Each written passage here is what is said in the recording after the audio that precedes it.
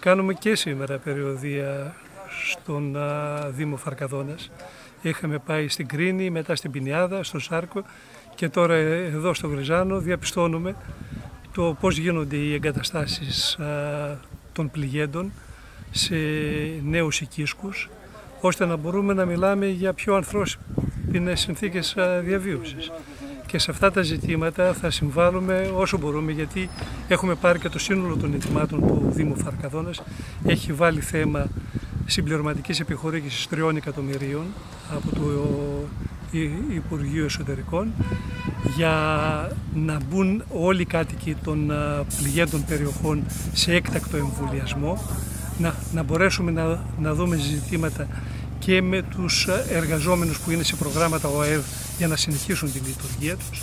Και αυτά τα θέματα τα θεωρούμε ότι είναι προτεραιότητα ώστε να ενώσουμε τις φωνές όλοι μας για να γίνουν όσο το δυνατόν σύντομα πιο ανθρώπινη η ζωή των πληγέντων. Ευχαριστώ πολύ.